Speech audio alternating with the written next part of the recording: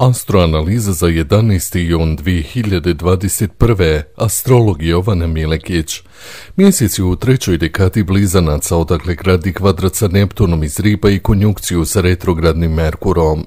Efekti eklipse i dalje traju, ali se energije smiruju u odnosu na prethodne dane kada se očekivala svojevrsna kulminacija. To se dogodilo tokom današnjeg dana. Vrhunac tenzija i veliki prasak na svakom planu. Ono na što bi posjetili je činjenica efekti eklipse traju do šest mjeseci.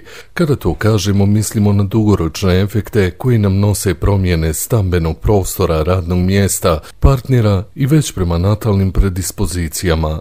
Kratkoročni efekti u vidu uznemirenosti, loše komunikacije i grešaka na poslu traju maksimalno još dva do tri dana uz sukcesivno smanjenje psihološkog pritiska. Sada sa mjesečevim kvadratom ka Neptunu uz konjukciju sa retrogradnim Merkurom moramo voditi računa kome šta i gdje pričamo.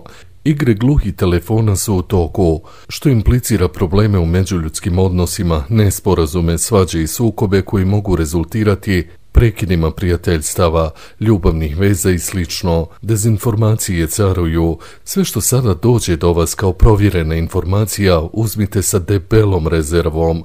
Mogućnosti za manipulaciju su izuzetno izražajne, ovo su trenuci u kojima je na testu povjerenje i baš oni ljudi za koje smo sigurni da su naši. Isto važi i za drugu stranu, Vodite računa kome ste u ovim trenucima ti ljudi, njih čuvajte, ostalo će se već samo raspoznati i pozicionirati. U saobraćaju i dalje veliki problemi, nepažnja i rasijanost uzimaju danak, neophodan je najveći mogući oprez, osjetljiv je stomak kao i respiratorni sistem kojeg sada napadaju jaki alergeni. Vrijeme je da korigujemo ishranu i okrenemo se održivom načinu funkcionisanja. U toku dana mjesec ulazi u raka što će pojačati senzualnost i senzitivnost. Po ulasku u znaga očekuje trigon sa Jupiterom iz riba i konjukcija sa Venerom, koja je također u raku. Uz retrogradno kretanje Merkura, ovo su dani obnova, povoljni spajanja duša, koje su spojene odlukom viših sila, prilike, neprilike, moguće i nemoguće, u ovim danima padaju pred snagom sudbine. Sretno, astrolog Jovana Milekić, treća dimenzija, pretplatite se na naš kanal. Hvala vam.